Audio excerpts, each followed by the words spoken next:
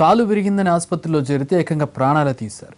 ఇది వరంగల్ సంరక్ష ఆసుపత్రి వైద్యుల నిర్వాకం చంద్రమౌళి అనే యువకుడికి కాలు విరగడంతో సంరక్ష ఆసుపత్రిలో చేర్పించారు కుటుంబ సభ్యులు. అయితే ఆపరేషన్ సమయంలో రక్తం ఎక్కించాల్సి ఉండగా వైద్యులు నిర్లక్ష్యంగా వ్యవహరించారు. దీంతో చంద్రమౌళి ఆరోగ్య పరిస్థితి విషమంగా మారింది.